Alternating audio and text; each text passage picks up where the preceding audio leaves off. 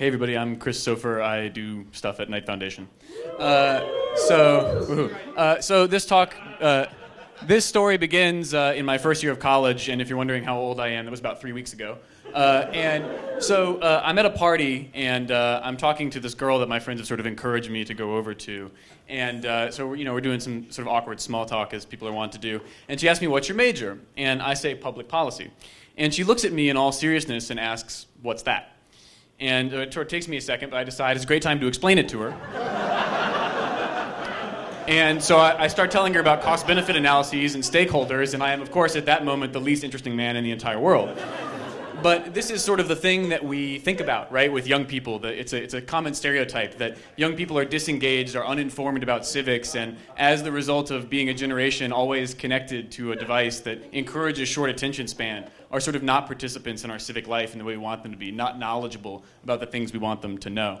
And so I got really interested in this subject and did a research project that took me to all these different places, interviewing people and doing some research about what was out there and what we knew about young people's engagement with news and with civics, and want to share some of the lessons from that that I think are, are relevant and interesting and that I'd like to talk about with all of you. And the first one is that new behaviors are awesome. So one of the things that, that shows up in a lot of the literature is that sort of we're worried about young people because they read the news a little less or they spend less time on things, and those things are true.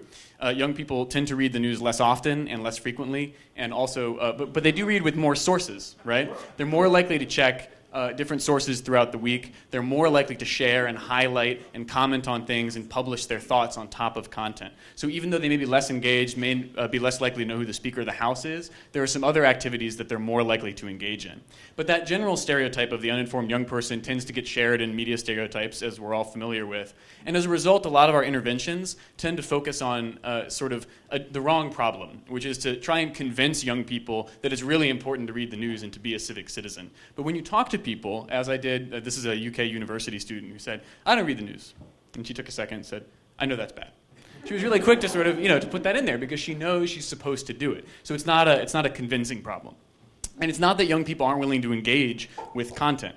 This is a, I was on a panel uh, with some Danish young people a couple years ago, and there was this one teenager who said, I spent a lot of time on the Doritos Facebook page because their brand is awesome and I like Doritos. And this was sort of baffling to the journalists in the room, but it's because you have a generation of people who are really open to new kinds of engagement if they like your stuff. Right? It's pretty simple. But in order to capitalize on that, in order to capitalize on those new behaviors, you have to design for those users, as we've been talking about, and as many of you in the room, of course, know.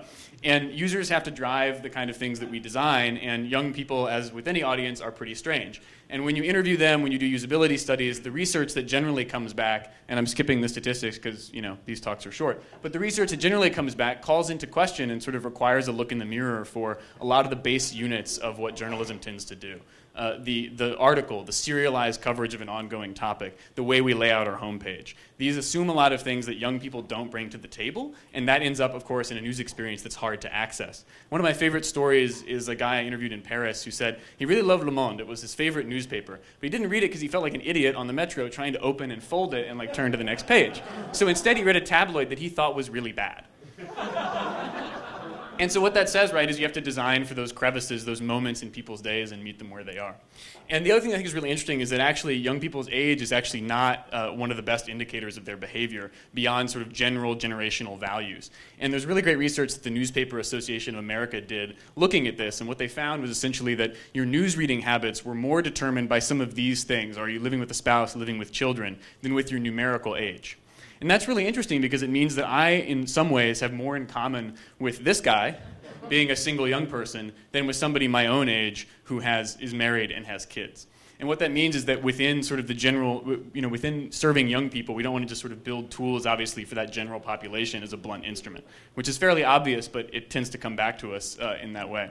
And one of the behaviors that I share with an older person is being an urban young person who tends to check the news a lot, local is back. This is a huge behavior with young people that's really interesting, and with everybody, but young people sort of lead the way in checking for on demand information, looking for information around them about their local area, and wanting to be more engaged with news about what's happening in their place and to participate in their place.